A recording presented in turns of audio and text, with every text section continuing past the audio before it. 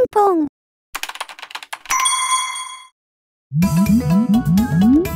1年間でのチャンネル登録者はこれくらいで、インプレッション数がこんくらい、CTR が5%前後、視聴回数と実際のチャンネル登録者、非登録者比率からして、CVR がこんくらい、怖い怖い、なんやねん。YouTube を攻略するためには、既存ユーザー向けのコンテンツを作成しつつ、ハブコンテンツとヒーローコンテンツを並列で投下して、新規開拓とバズを狙いつつ、多い、ベンチマークから人気の動画は、青いベンチだから、ベンチを青く塗る動画を投稿すれば、目標値にコミットできる可能性があって、おいおい、つまりパルスのファルシのルシがコクーンでバージってわけだから、お前何言ってんの？うわな、なんやねん、おい、ゆかりちゃん、ゆかりちゃん無事か？無事です。本当に？どこかおかしいですか？なんやろう、シンプルに顔が変。実はいろんなことを考えて、脳の容量の限界を超えるとこんな感じにアホになってしまうんです。いつもやろアホは。ね、何を考え込んでいたんや？これからの動画の方向性について考えていました。はい、みんなの毎日にちょっとした笑いを、そんな理念をもとにやってきましたが、果たして今、私はみんなの糧になれているのでしょうか？もっと視聴者の力になりたい。そう考えるほどに、今、私の胸は締め付けられるのです。めちゃめちゃいいこと言ってるけど、その絵面の整備入ってこない。単純に投稿頻度を上げるべきか。いや、別ジャンルでの新規開拓を目指し、認知向上施策を打つべきか。しかしながら、ゲーム実況、ショートコントという大枠のテーマを作ってしまっている以上、そのテーマから外れる方向性は避けるべき。大枠のテーマを踏まえた上で訴求を変え、いくつか動画を制作、反応率を集計した上で、方向性を確定させるのがベターかもしれない。あかりちゃんはどう思いますか？めちゃめちゃ賢いやんけ。なんなんお前、ずっとその状態の方がええんやないかうちもこっちの方が安心感あってやりやすいわ。唐突に爆発唐突に爆発すんじゃね